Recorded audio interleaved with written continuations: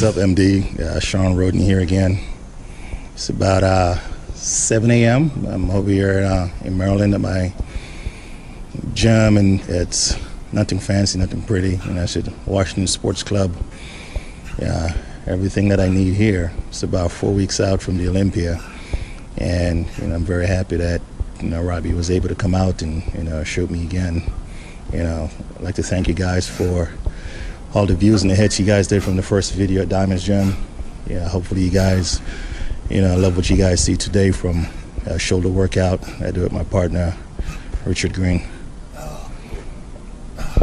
Well, the last time you guys saw me on stage was at the Dallas Europa show. You know, it was a very exciting time for me. You know, we had a lot of fun out there. You know, came back home and you know had a chance to reflect up on everything that happened that entire week. Uh, that weekend, know, went over a picture with my nutritionist, you know, just to see where we at and you know what we could have done differently. You know, we know that the goal going in was basically to qualify for the Olympia. You know, you know, so getting third place. So, you know, I was very excited. You know, we knew we could have done things a little bit different, you know, as far as coming in a little bit drier. You know, so that's what we're working on right now. We know we don't have time to grow, you know, but we're going to definitely come in a lot drier in the next four weeks, uh, a few pounds lighter, and to bring a completely different package. Uh, hopefully, we could surprise a few people.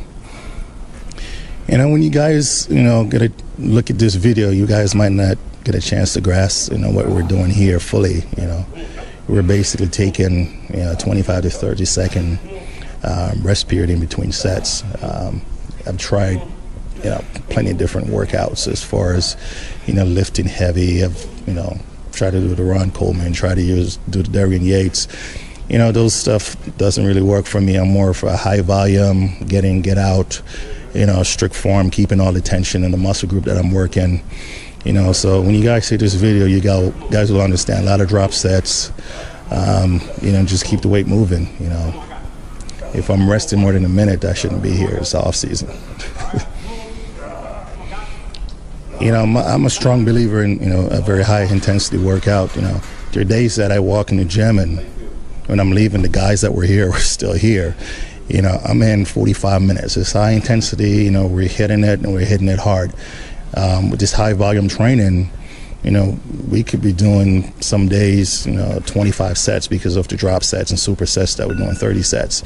And a lot of times, you know, we might do one exercise and it's, you know, two sets, but those two sets consist of 50 reps. Um, and again, it's just high volume and, you know, high intensity and keeping all the stress that we need on the muscle group that we're training with strict form. Uh, and after the Dallas show, you know, sat down and you know we went over a few stuff. Me and uh, Dave Callick, the nutritionist that I'm working with, and you know we realized that there was a few things that we could have done a little bit differently when it comes to us carbing up. Uh, even though the goal was for me to get, come in about 90% you know, for the Dallas show just to qualify, you know, but we'll, while doing that, we, you know, understand a little bit better as far as how my body react you know, when it comes to, you know, carbing up uh, with the different carbs that we were taking in. Um, and we realized that, you know, maybe the white rice we were doing it spilled over a little bit. You know, so for uh, the Olympia, you know, we're making a lot of, you know, improvement and adjustment. Um, you know, so we definitely we should be bringing a, a much drier and uh, tighter package. You know, come September. Uh, so hope you guys uh, are ready for this because uh, we definitely plan on bringing it. Win, lose, or draw, we will be there. you know, one of the hardest part, you know, right now, you know, getting ready for the Olympia is not having a major sponsor uh, to back you. Um, you know, so I'm available. I'm looking for um, any major supplement company that's you know looking for an athlete uh, as far as you know someone to back their products.